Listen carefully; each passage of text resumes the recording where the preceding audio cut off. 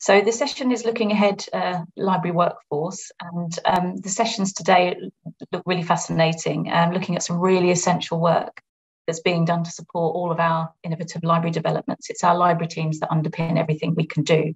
So I'm really looking forward to hearing more um, about the, the, initiatives that they're involved in. So without further ado, I'll introduce the first um, set of speakers. We've got William J. Nixon, Assistant Director from the University of Glasgow, and Fiona Courage, Assistant Director from the University of Sussex. And they're going to be talking to us about revolution. So are we ready for this revolution? They're going to be discussing the um, digital workforce development strategy, which, if you've all had a look through the RL UK strategy, I've got it well scribbled over there. I'm really looking forward to this. I think as we're all coming out of the pandemic um, and developing our digital services, it's really important to think about our workforce and teams. So I will hand over to William and Fiona. Thanks very much, Nancy, and really appreciate that introduction. Um, so I'm delighted to be here with Fiona today with our, I guess we should be managing your expectations with our title, Ready for the Revolution, Realizing a Digital Workforce Development Strategy. Um, and I think what we really wanted to do was to, uh, we convened a, a, small group starting to look at how we can provide a model for RL UK member libraries to look ahead to think about managing their digital workforce development along kind of complementary strands for both existing staff and also for upskilling uh, upskilling those existing staff, but also looking at recruitment and feeding into the RL UK strategy.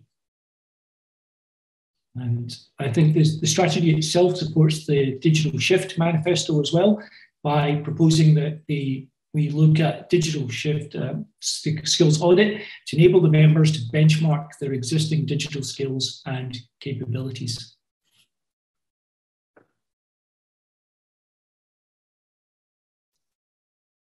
So I just want to say a couple of words just about the Associate Directors Networks for anyone who uh, may not be either part of RL UK or not part of our network.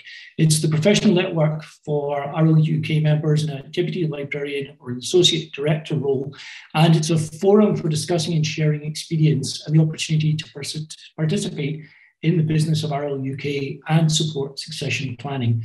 And I'm delighted that um, I have the opportunity to co-convene with Fiona Courage from the University of Sussex. And Fiona and I have been working for the last year with colleagues in a small group around the ADN, as well as some of the broader work which we've done. The three key strands of ADN activity are leadership development, peer network, and that wider RL UK support.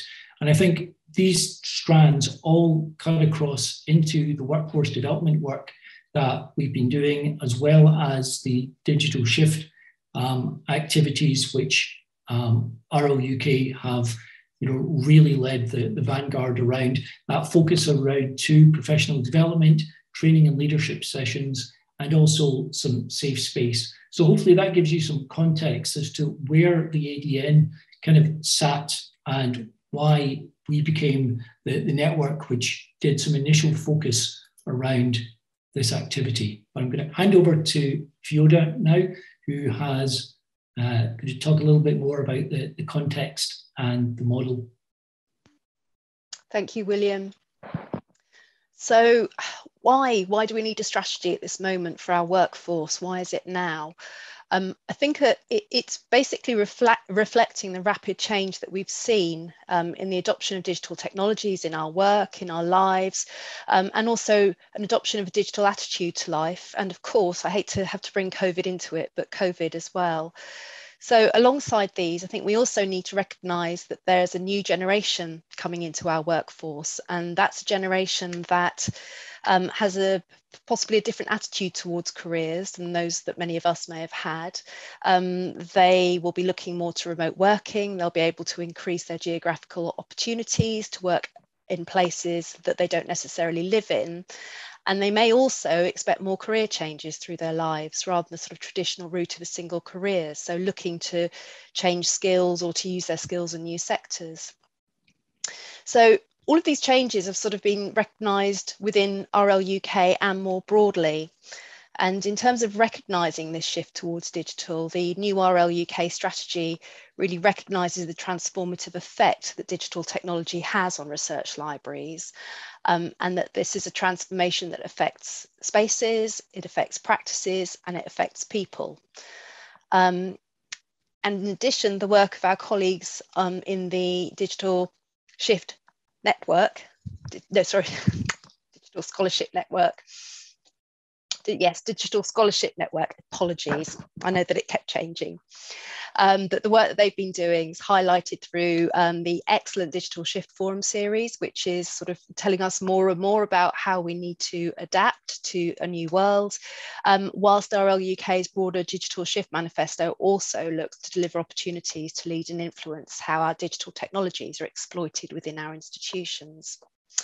And of course, COVID, it's really necessitated our adoption of much more agile working practices. And in this adoption, we've kind of seen how digital has really infiltrated our lives in terms of not only the technology that we use to work and to live, but also um, our practice and our mindset. So this agility is something that we're obviously going to continue to use as we adopt hybrid working, as we adopt more hybrid learning for our students and our research practices as well. So we're also witnessing changes in our practices um, as well as acknowledging them. And we can see that many of our traditional library processes have become increasingly automated. And in response to this, there's therefore a need for a different set of skills to deal with automated systems. And these are often um, revolve around problem solving, around critical thinking, and around analysis. Really interesting um, how it's sort of, in some ways, we talk about having single workforces and so forth and, and being agile, but we're also looking towards specialization much more. Um, maybe a talk for another day but the wider changes in our institution as well, particularly around digital scholarship, open research, and publishing, means that we're also increasingly being seen as collaborators and institutional leads in new areas rather than just a support service. So, how does this impact on the shape of our workforce? Well, it means we do need to seek out new types of skill sets, often specialised and from areas that may not be traditional to the library sector, such as gaming, we need to support this through developing our existing workforce and looking for our new workforces as well. So if we're looking to train our existing workforces, we need to look at the implications on how we approach uh, professional development. We need to look at recruiting from new sectors, which in itself has implications on how we recruit. And I know that yesterday um, in the last session, there were some really interesting discussions about how we might want to change the way that we recruit to increase uh, and be a more inclusive um, employers. So the digital, the nature of digital really means that these changes um, can be sector wide and we've got these opportunities for collaboration across networks that already exist, but also to create new networks. So taking all of these three areas together, um, we decided to look at developing a more coordinated approach to the change. Um, and that came out in our strategy. And William, could you produce them? So what we've come up with is this um, model, which William will go into slightly more detail shortly, but basically taking three different strands, a strand of understanding, of and then undertaking and then delivering in order to develop our existing workforce and to recruit our future workforce, altogether leading into a digital skills framework. So I'll pass back on to William now.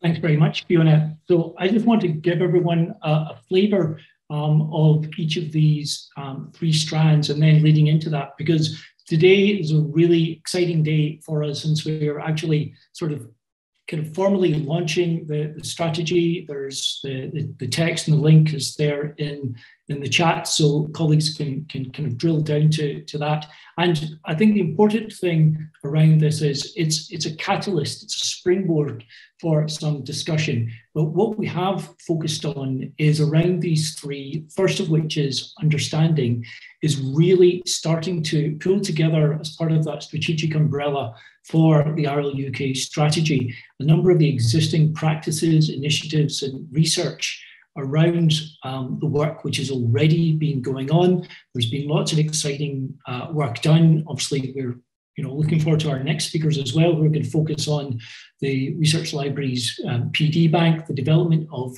digital competencies, the digital scholarship networks, rise of the transatlantic skills uh, forum around skills and knowledge exchange, the digital shift webinars, which have been incredibly popular and provided some real opportunities for wider staff engagement. Lots of professional practice initiatives, particularly around HRC and TNA, and also the, the rebooting and the restart of the space program. And as Fiona commented, obviously some of this for us is set against that kind of context of um, kind of coming out of um, you know the pandemic, of kind of COVID nineteen, the acceleration around hybrid working, the you know that blend and that shift that's really driving a lot of technological and cultural changes. But I think it's also incredibly critical for us as a strategy here to recognize that RLUK members are also at different stages with their workforce. So, one of the things that build into that framework is that maturity continuum and where kind of various institutions are sitting.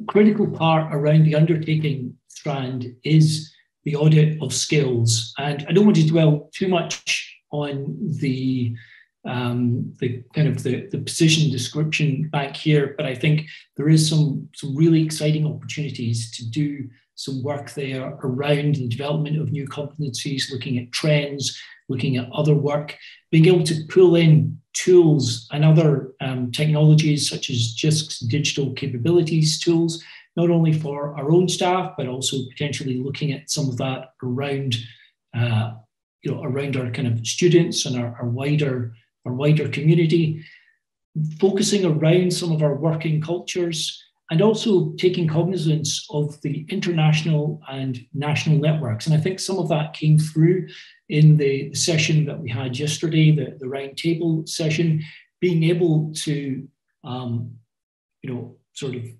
feed into and to, to take uh, advantage of building into those networks and those relationships and being proactive and coordinated across uh, our entire sector. The third and I think really challenging element is around the delivery. So there's three elements here. There's a training and development framework element, an evolving work cultures framework, and an advocate and an advocacy and change element. So again, here just to, to pick and mix a couple of these elements, there's recognizing that diverse skills workforce, looking at embedding some of these flexible and agile skills. The fact that there is an ongoing digital skills journey, we're never actually going to be finished. And I think if we were all to reflect on where both we were personally and where some of our staff were with some of our digital skills, you know, even two years ago, I think you'll see there's quite a been quite a journey around that. But also, as well, one of the things that came out as part of the research and the work that we had done uh, as, a, as, a, as a group is also the importance of you know, what may be traditionally referred to as the softer skills. We can't make, we can't just um, focus wholly on digital. There needs to be that balance around those. And in terms of evolving um, working cultures, looking at how we nurture talent, that succession planning, looking at where we can continue to develop that. Um, in the, the, previous session, um, there was a comment around one of the challenges around recruitment, uh, around that, and also, you know, our workforce, our skills, our staff are one of the richest and most important kind of resources and um, key elements of how we can deliver, you know, the world-class research library services, which we want to do.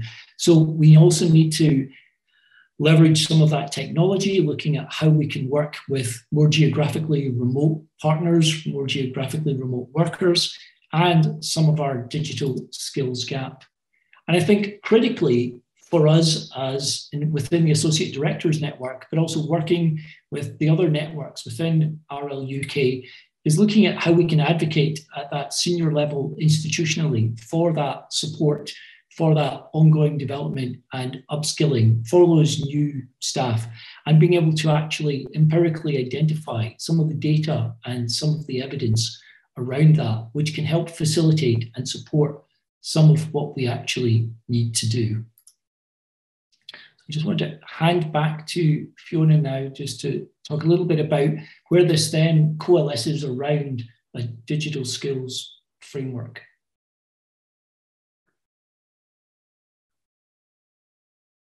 You're, you're muted, Fiona. So there you go. We've all got to develop our digital skills in this new agile working, and I still can't remember to take the mute off. um, in terms of this digital skills framework, we're looking to um, lead it as part of our ADN um, and to bring together a, a, smaller group working within that in order to lead into that. Um, and we're looking to engage across all of the RL UK networks that already exist, in particular the Digital Shift, um, but also to, as you can see from the previous um, slides, there are things such as advocation, um, sorry, advocacy, um, and and so forth also to think about where else we might need to focus um, in groups that might not be there. And that could be subgroups that we develop in the ADN, for example, to look at um, training, to look at recruitment, and to share our skills and experiences across our network. Um, so the idea is to provide this refreshed 21st century post pandemic baseline of digital skills. And we will do that um, again within the ADN. We're looking to create a smaller group to look at digital skills audits. Um, and we hope that it will be underpinned by strategic investment. And again, there were interesting discussions yesterday in the uh, long table um, about needing to have strategic investment both resource wise, um, but also psychologically to in, ensure that people do have the space to be able to develop their skills, to undertake professional development and so forth.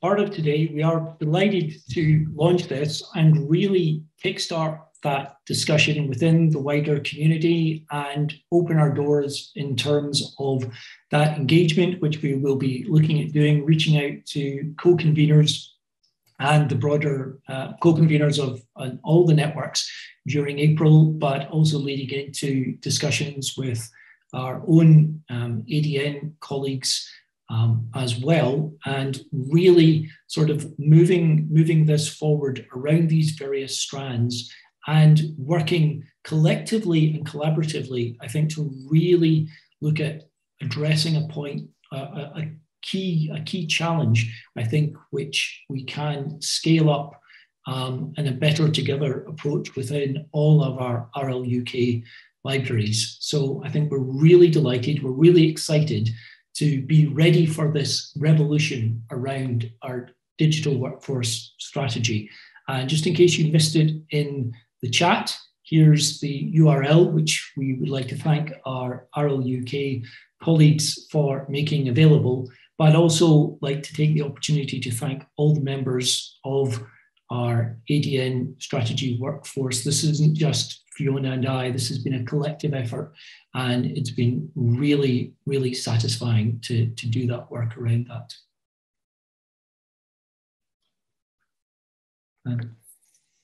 Thank you very much. Thank you so much. That was really interesting. Thanks to William and Fiona. And I, I love um, being given presents at the end of a presentation where we've got a link. We can all go out straight away after the session and have a look at that strategy. Um, I, I was thinking of questions throughout that, and I hope other people are as well. So please do post them in the Q&A. Um, but we're going to move on to our next set of speakers now. So for this one, we've now got Matt Greenhall, Deputy Executive Director of RL UK, and Laurie Taylor, Senior Director for Library Technology and Digital Strategies from the University of Florida. And tying in really nicely to William and Fiona's talk, we've we've got um, Matt and Laurie talking about the position description bank. So this is their session on position descriptions over the pond, the experience and early results of the RL UK's onboarding into the ARLPD bank. So uh, take it away. Thanks so much for the introduction. And it's lovely how, um, how well these two uh, presentations fit together. Uh, we're really excited to be here today. I'm Laurie Taylor, um, and I'm here with Matt Greenhall. So what we're going to do today, we're going to talk for about 15 minutes about the experience and early results of the RLUK's onboarding into the PD Bank. So we're going to start by introducing the PD Bank and cover a little bit about its origins and purpose. Then we'll provide an overview of RLUK joining this resource. And we'll talk about similarities and differences revealed by the onboarding of RL UK members. And finally, we'll provide an overview of the early results of RL UK members joining this resource and uploading their job descriptions into the PD Bank. So we'll divide the talk between us, uh, talk for about 15 minutes, and then we look forward to questions afterwards. So to get started on the brief history, um, to give you a sense overall, the Research Libraries Position Description Bank, or the PD Bank, is a collection of position descriptions from major academic and research libraries. The PD Bank fosters the sharing of information through a browsable and searchable database that provides access to the collection or bank of PDs throughout Canada, the United Kingdom, and the United States. The ARL PD Bank supports the management of PDs for individual institutions, providing an effective organizational method and system that supports findability as well as archiving for long-term digital preservation. And it was developed based on specifications determined by library personnel officers through focus groups and other feedback channels. The PD Bank provides a more useful source for current PDs and depicts the evolution of positions and library functions and services as reflected over time in the PDs. So why was this created? Perhaps the most common collaboration between personnel officers from different academic libraries is the sharing of position descriptions. This was usually initiated by a request for samples over an electronic mailing list. The responses are hit and miss and not often distributed to the whole list, and neither responses nor the requests are archived. Additionally, library human resources management staff spends a considerable amount of time and effort managing, archiving, locating, retrieving, and distributing position descriptions. These documents serve as, an important, as important elements of effective human resources management and are only useful if maintained, organized, and accessible. Uh, techniques for and effectiveness in managing these documents can vary from institution to institution. So as on the slide, the need and value is really for sharing the position descriptions, tracking trends over time, projecting for the future, and new opportunities uh, from greater understanding of positions, competencies, and ways of working the prehistory of this um, from 2006 to 2011 everyone needed to do this. And so management was at the local level with these shadow internal systems at uf um, our internal system was called green monster colorfully named for its time. Um, but by 2012 it, planning began. Um, in 2013 the pd bank launched um, soon after the onboarding of different consortia, starting with uh, the Association of Research of Southeastern Research Libraries, and then in 2014, the Canadian Association of Research Libraries. So the PD Bank emerged at a time when we could share data in a centralized and consistent manner, and we acutely needed it with changes in the digital age, librarianship, and research with new positions uh, like data management, digital scholarship, exhibits, and more. So shown here are UF's first data management librarian, Dr. Plato Smith, and UF's first exhibits coordinator, who's now uh, exhibits director, Lourdes Santamaría-Wheeler.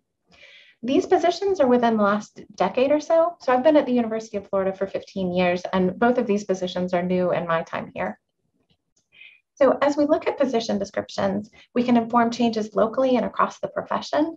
And just a note on that, I was looking at a different report earlier and saw that it was in 2004 that the Association of Research Libraries in the US approved digital as a means for preservation. So if we think about the span of time, how many people do we know who do digital preservation, digital collections, data management, all of these things that are really deeply interconnected, and all of these uh, positions that are really relatively new in the overall scheme of things.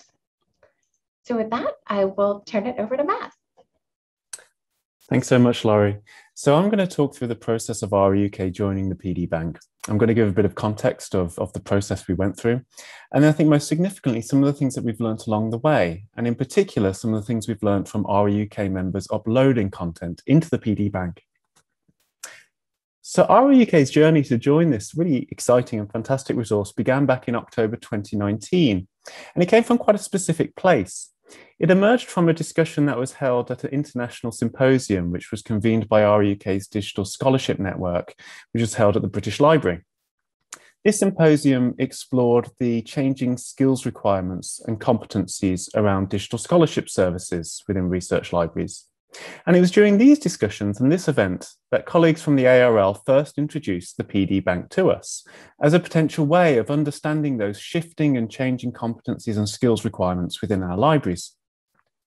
From this event, we then began a series of lengthy conversations with the ARL in the United States and also our colleagues at the University of Florida regarding RLUK joining this resource this included the collation and sharing of job descriptions from across the RLUK membership, convened and collated by members of the DSN, and also in, involved some um, comments and review of some of the metadata fields of the PD Bank to make it more accessible and appropriate to RLUK positions. And a big thank you to members of the DSN for supporting this process and advising on this from the outset. Following these discussions, we were then delighted to commit resource and support the onboarding of RLUK into the PD Bank from January 2021, a little delayed um, because of the COVID crisis. The changes that were made to the system by University of Florida colleagues then resulted in the launch of the PD Bank for RLUK members in June of last year. And we were delighted by the response from the RLUK community to the opportunity of joining this resource. Since this launch event in June, 23 RLUK member libraries have signed up to participate in this project. They have attended training and webinars, received guidance and support, both from the RLUK executive, but particularly from colleagues at the University of Florida. And we were delighted to see that in November 2021, the first uh, position description was uploaded from an RLUK member there's now over 230 position descriptions in the PD Bank from RLUK members or from five libraries in particular. And we hope that this number will continue to grow over the coming weeks and months.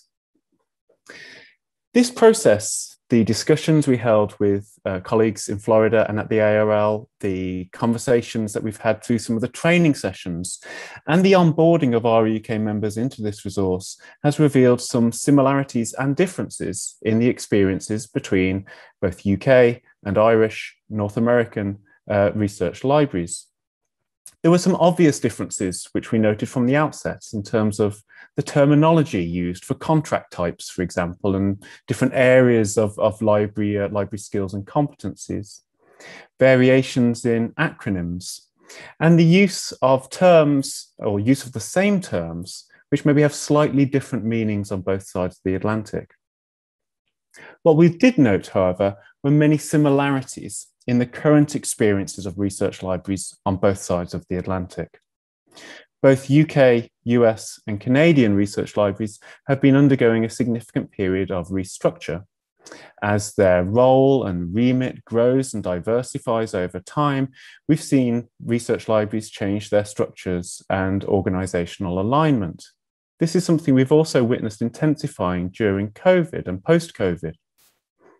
In part, this has reflected some of the wider changes within the recruitment landscape, particularly the, the Great Resignation, something witnessed on both sides of the pond in response to COVID 19. As individuals have left our organisations, particularly at very senior levels, this has provided opportunities for research libraries to look at their structures and their alignments and their teams. And this is something we've seen on both sides. We've also seen, and Fiona noted this in the, the previous presentation, the growth in both experience and expectation around flexible working and remote working on behalf of individuals within our organisations, and particularly those seeking to join our organisations as we explored briefly yesterday, um, there's been a real focus and an urgency around EDI or, or, DEI, as it's often referred to in North America, in, in, in making our organizations more inclusive and diverse, particularly during the recruitment process. Reference to EDI is something we see within many of the job descriptions which are being uploaded by our UK members into the PD bank. We've also been exploring the representation of these issues within North America, and in particular, the creation of very senior roles at director or associate director level around diversity and inclusion. So, very senior posts being created within North American research libraries to really drive change around EDI. We've also seen and reflected on the importance of agility as one of the reflections from um, the COVID experience, but also as cited by William and Fiona a moment ago, and as featuring within RLUK's Digital Shift Manifesto. The ability to deploy skills and competencies quickly across organizations in response to challenge or new processes or new responsibilities. The ability to move skills and move individuals and deploy them where they're needed in real time. We've also noted, and there'll be a, an event exploring this uh, through IALA in a few months' time, issues around the talent crunch and the fact that research libraries are um, involved and are placed with an incredibly competitive um, recruitment landscape, which can make both attracting and retaining staff and talent difficult, um, where not only research libraries sometimes can't compete on salary, but there are also increasing expectations around flexibility. So these are some of the headlines that we've explored through some of the training and some of the conversations we've had. I'll now briefly talk through some of the headline results from the uploading of position descriptions into the PD Bank by RLUK members. As I mentioned at the outset, we've now had over 230 job descriptions uploaded into the PD Bank. These come from um, positions right across our organisations, from very senior posts and associate director roles to more junior roles, such as library assistants. So, colleagues and RLUK members really are uploading a wide variety of roles into this resource. There is, however, a senior bias uh, to those which exist currently within the PD Bank. We've had uh, 54 uh, library, archives, and learning assistant roles but increasing numbers of head of units or department roles, manager roles, and as I mentioned, associate director roles also.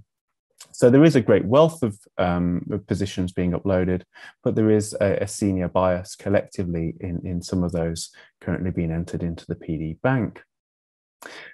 The majority of roles, as you can see, are full time, and the vast majority are permanent appointments. What's really interesting, though, and is something we'll explore in greater detail, is the requirement of professional qualifications within some of these positions. We see that uh, around 30% or, or 30%, just under a third of the roles uploaded into the PD bank request a professional librarian or equivalent qualification. Just under 30% seek a professional qualification of one sort or another whereas just over 40% don't require any specific qualification to be to be um, uh, to, to be held in order to apply for that role. This is something we'll delve into a little deeper, particularly as we get more and more position descriptions uploaded into this resource. What's really exciting as well about those that have been uploaded is that they're really contemporary you can see that the, the vast majority of roles were created in 2021, at 73%, and a growing portion of the roles within the PD Bank uploaded by RLUK members were created this year.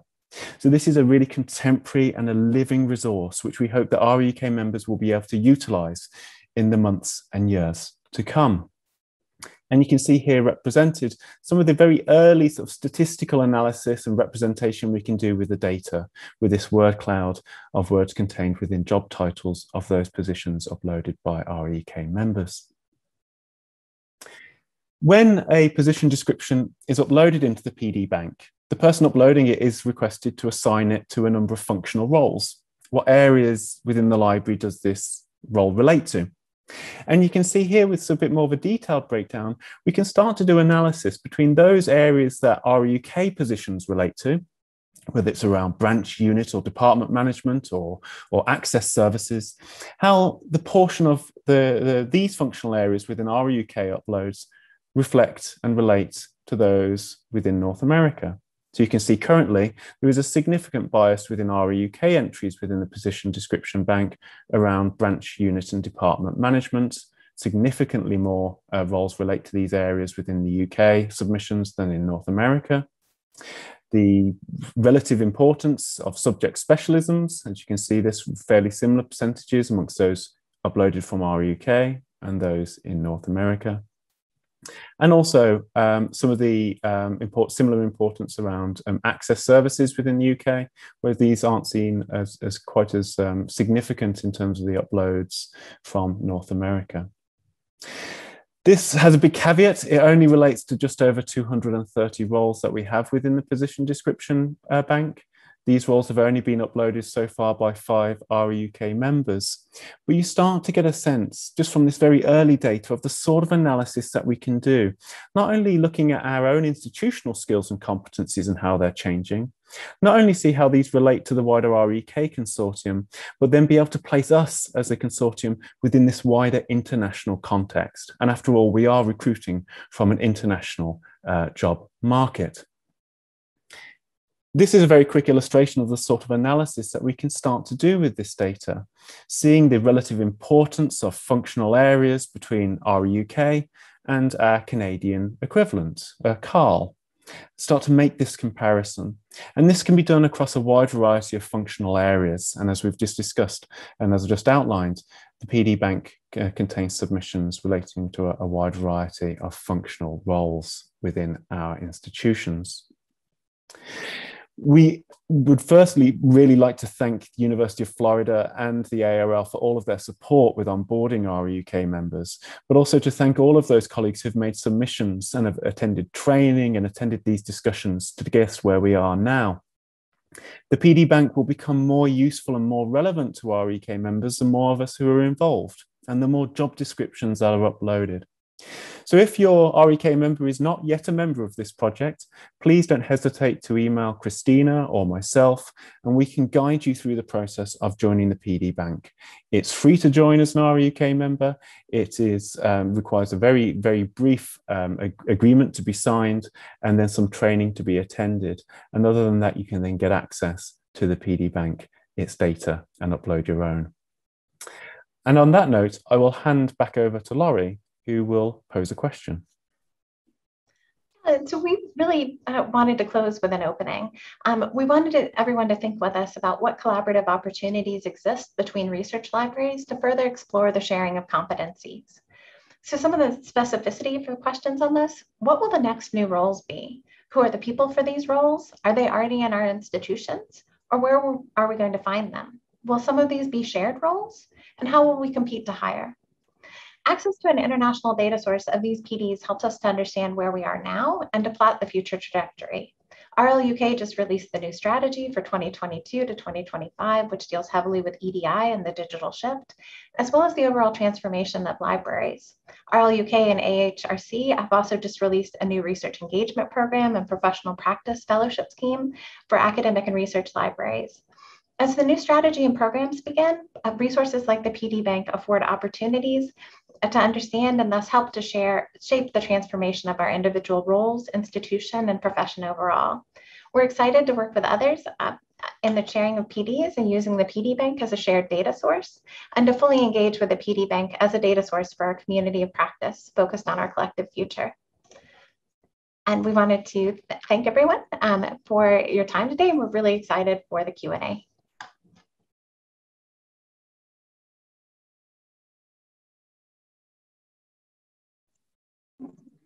Thank you so much, Laurie and Matt. That was really, really interesting to see all that sort of really good detail and the sort of analysis you've done so far of the PD Bank. Um, I know that colleagues of mine have already used it um, to start, you know, fleshing out kind of roles that we're developing.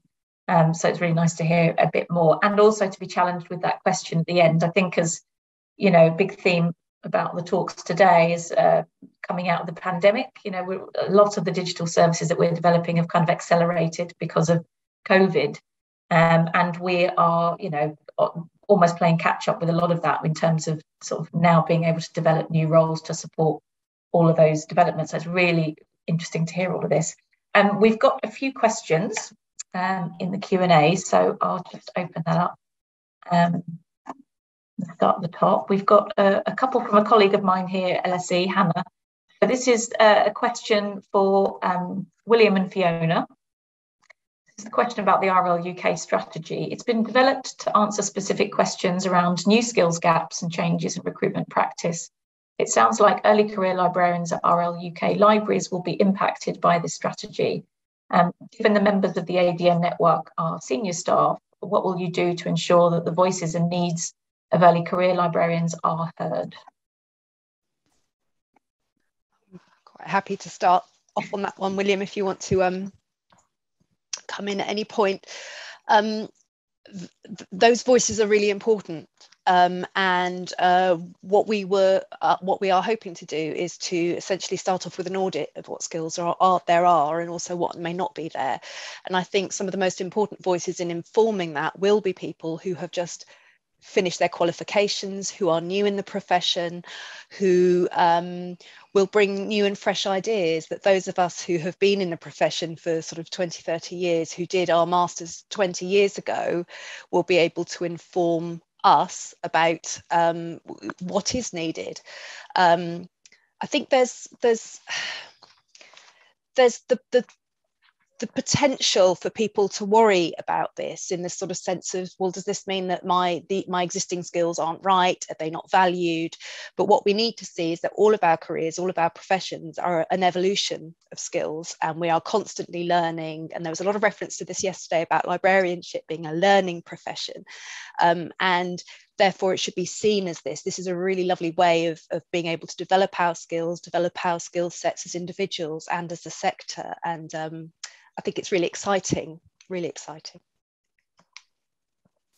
I would absolutely um, completely agree there with Fiona. I think this possibly leans into with a bit of foreshadowing, possibly the next question, but also um, I think actually Hannah, I, I think clearly as a, a co-founder of an early careers um, kind of research uh, librarian kind of group and so on in London. I think you're somebody we should be talking to as well. It is absolutely not, you know, just, uh, you know, I think you want to think of the, the ADN as the, um, you know, as the, the sort of the, the kind of you know tasked with the, the delivery and, the, and the, the, focus around this, but it's absolutely not you know intended to be a senior staff echo chamber or in any way, shape or form um, you know, not be wide open to all the, the kind of breadth and range that, that colleagues in the in the profession and in our institutions uh, have to offer. Thank you. Thanks for that. I think that that definitely reflects, uh, you know, experience that I've had in sort of recruitment. It's not just about new roles and that. It's actually looking at, you know, reviewing job descriptions, developing people. That's one of the things that's really important to think about when you're looking at the overview of all the you know teams you have in a library. And there are skills that are you know hitherto sort of untapped in people that you can start to surface and bring out. Suddenly people find they're very excited about something and they'll you know we'll put them on some training and and suddenly they've got a new kind of area that they're they're you know working with. So um, I think that's that was a really good point that, that Hannah's making though about sort of being involved in that as early career. Um, did you want to follow on with her next question? Uh, oh, one second. Uh, yes, about look at outside the traditional fields. What are the implications of that for uh, traditional library qualifications? Um, you see these qualifications diminishing in, in importance in future recruitment? I think that's a, a really interesting question. And actually, I think that they absolutely aren't diminishing. I think actually, even if you know, if we think about you know that engagement that we had in the roundtable yesterday, um, I think there's there is perhaps some kind of re redefining of kind of librarianship or some kind of pushing around some of the edges. But I think those qualifications and the, we touched on yesterday some of those underlying principles of librarianship, some of those kind of core activities, core roles, the values around kind of trust and authenticity and, and so on, I think actually are going to increase because you know you, that is you know very much kind of recognized as you know part of that that qualification in those roles. So i, I think i see those again as, as sort of very complementary. We're going to be just matching you know the right staff for you know the right the right roles, looking at all of those, but I certainly do not see any diminishment around that, in my professional opinion, certainly. No. yeah, go on, Fiona. Sorry. I was just going to say to add to that. I think we'll use the word evolution again. That um, you know, all all courses in the same way that our own personal professional development needs to evolve. So too, these should evolve, and and we should all be involved in enabling them to develop um, and to make sure the skills are relevant. But it will change and it's changing so quickly at the moment um, that you know certainly the course that i did 20 odd years ago is, is very different to the one that you know hannah and colleagues will have done more recently. So it's uh, yeah. And i think there's a role for library schools there. I mean if we go back from what we need um, it's, it's a classic thing of looking at how people are getting their qualifications and what those needs are when they're when they're learning. Definitely, definitely. Okay, uh, we're going to go. I'm just having a look in the the questions here. Um, the question from oh, this is another colleague of mine, Fabi. Um, Matt Greenhall mentioned senior management bias in a number of uh, job descriptions at management level against assistant level. Does the rate doesn't the ratio of managers assistant roles reflect the reality? I just wondered if you wanted to make a comment about that in terms of how you feel it reflects the reality that you're aware of. Yeah, I think, and thank you, Fabi, for that question. I think it may well do. Like, what's interesting, I think, and, and why maybe I'd a little caution in terms of the job descriptions that have been uploaded um, to the PD Bank so far from RLUK members. Uh, a number of these members who've done so have gone through wholesale um, sort of restructures so there's been a, at all levels, so effectively there's been a flood of roles relating to um, many different positions simultaneously going in from right across the structure. Um, so that may not be reflective of the sort of more organic way that organizations recruit over longer periods of time so I think you could be right. Yep, it could reflect actually that that, is just a natural reflection um, of things. I would say at the moment the the data that's coming in is a little skewed, and also we're using quite a small data set. So I think we'll be able to comment on that more as more and more members join. I'm not sure whether Laurie, there's any reflections you'd offer from a US side. I mean it's it changes a lot based on need. Um, and so you will see things like when people are doing, you know, a reorganization or restructuring, and you'll see a ton of updated position descriptions. Um, and sometimes people start from the top. And so different processes, um, the wealth of the, the value of the data really increases over time because then these anomalies um, just become part of the larger scope of it. Yeah, thank you. Um, we've also had a question from Stuart Dempster about the openness of the PD Bank. Um, so uh, he says here, ARL and RLUK members are committed to open access, scholarship, etc. If I am right, many of the PD Bank resources sites behind uh, an authentication layer, excluding many from access to key resources. In future, could foundation funding be thought to open up the resource to allow others to benefit from this worthwhile endeavour, perhaps? Absolutely. Um, but one of the reasons why it's closed right now is to make sure people can be onboarded and they understand the data source and the resource for it. Um, so anyone um, can contact, if it's a consortia thing, um, you can contact Matt Greenhall um, or whoever you know your consortia is. Um, but really, we're trying to have people contact their own institutional leads within their institution. and those people can set up a, basically a researcher account. So you just have view only access. The reason we want to do this is it really is a community of practice and we want people to be be in conversation with each other. Um, we also want to know what you're finding, what obstacles you're coming into with the uh, PD bank so that we can have a virtuous process for improving it. But some of it, if you're not an HR professional already and a long-term one, some of the terminology, it, it it's just not the way you think. And then when you're dealing with an international data source, obviously the, the terms have been updated. That's been some of the great work um, with RLUK but it doesn't always make sense. Um, and so, like so many data banks, you do have to register for an account and be in contact with folks to make sure that you're most supported for using the data. But that's been the approach to date. That doesn't mean that that is the correct approach. You know, launched in 2013. Um, I normally say digital projects live in dog years. It's a rapid evolution. So if this is something that comes from partners and that this is what folks want, um, that's great for us to know um, and then to plan on changes.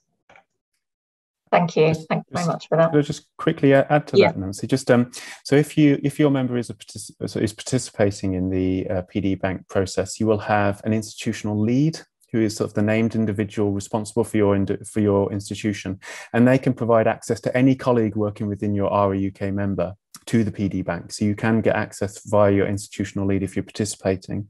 The other thing I'd very briefly mention is, as Laurie just uh, cited, you can get and there can be researcher access given to the PD Bank.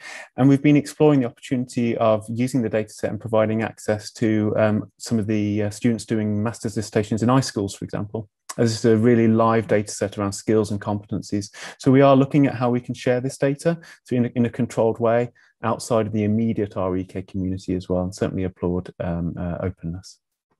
Thank you. That's really useful to know. I think that's something else that you just touched on, which was a question I had um, about or comment about seeing how roles actually develop over time. So it'd be interesting, perhaps in the future, once you know new roles, uh, sort of new versions of roles get added to it, see how different roles actually evolve. Um, you know, the same role but different different skills. Um, a question from Martin Reed. Is the ADN going to use any existing framework to carry out the intended skills audit? I think that's for William and Fiona. So thanks very much, Martin. Um, I think there's a range of options there. And one of the things that we really, as part of what we were looking at, were the, the JISC digital skills and the JISC digital capability. So that's something which actually University of Glasgow has recently um, subscribed to. So we're really interested in looking at that as a potential framework. That's around building capacity and capability around both kind of staff and students as an initial framework. But I think also as part of our kind of outreach and our engagement, we're interested in um, anything that we might have missed. So there is this uh, as part of our um, kind of undertaking element. There's some really interesting crowdsourcing opportunities as well there, since we, we possibly might not have all the answers. And I think it was really useful, you know, yesterday's kind of roundtable, which was a really um, good example of some of the kind of events which we want to look at kind of hosting to further engage the, the community going forward around this strategy. Okay, thank you. Um, next question from Ellie Cope. She says lots of talk about early career professionals, but what thinking is being done about supporting mid-career professionals who might not be interested in moving into management, but who do want to develop their skills? So I, am assuming that one's for William and Fiona as well. Thank you. So a huge part of the frame of the digital tools strategy is to look at um, developing our existing workforce as well as how we recruit a new workforce. And in terms of mid-career professionals, uh, you know that that's the relevant part. And I think things like the audit skills um, and any additional sort of uh, focus group work that we may do, reaching out to the wider community that we will do, will start to fill in what those requirements may be. Um, and we can start to look maybe as a network and as a, a sort of a, a, broader sector in terms of whether there are sort of um, very specific but widely required things that could be supported and look to ways to support them in order to share the, the resource burdening of that or um, about developing competencies within institutions and sharing those as well. So this is very much not just about um, new professionals, it's about mid-career, it's about managers as well and the skills that are required there, um, as well as looking at new people coming into the profession before they've even taken those qualifications. Okay, that's great, thank you. Um, next question, we're back to Matt and Laurie. Um, oh, hang on a second. It says, I wonder if the PD Bank has a general trend toward shorter job descriptions aiming to define more standardized skills borrowed from other sectors, e.g. product manager, data scientist, UX, UI specialist, or are there no discernible trends in the style of job descriptions yet? Overall for all libraries to date, there's not really a discernible um, single style. And we do have some things that come in automatically from the job posting system for the Association of Research Libraries. Those are shorter, um, but they're not short. Um, and then a bunch of us use this as our, our replacement for our shadow system. Um, and so our full position descriptions, uh, like for the University of Florida, are loaded. And we, we also upload revisions over time. So some of them are pretty giant. You know, they tell you about the University of Florida, about the libraries, about the city of Gainesville, Florida. You know, they have all of that additional um, information in it. Matt, I don't know if you've seen a trend. It's too early. I think it's, it's too early to tell for RLUK. Other than just echoing what Laurie said, some of the length of the descriptions are, are not are not short. These these are quite detailed descriptions in terms of what is being sought for and the type of individual and the placement of the organisation and its current strategic focus.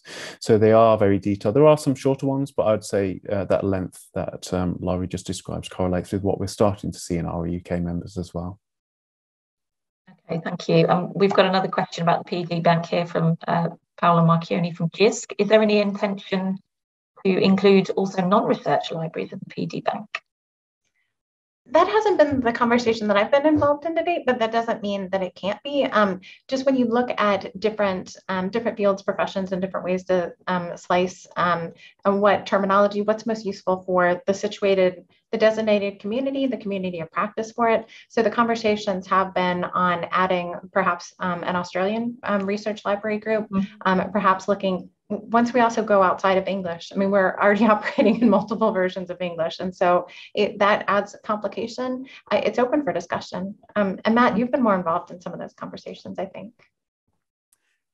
Um, so I think, um, yes, there is that potential. I think at the moment, really encouraging that diversity of roles from research libraries, which may not traditionally be associated with research libraries as a real focus. I know uh, our colleagues in the Special Collections and Heritage Network and the work with university museums and galleries, and really trying to encourage the inclusion of those roles um, outside a, a library uh, sort of traditional um, uh, description.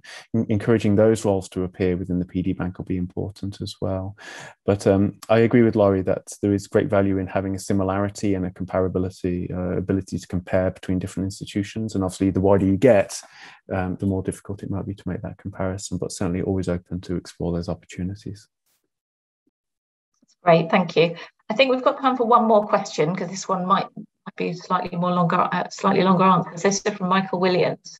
More interested to hear about the skills audit uh, that Fiona and William mentioned. We're starting an audit in my area, collections, exactly two years ago, which stalled for obvious reasons, and we're now in a very different world. Even though we retained significant emphasis on print collection development and management, many of my team are shifting in different ways to digital.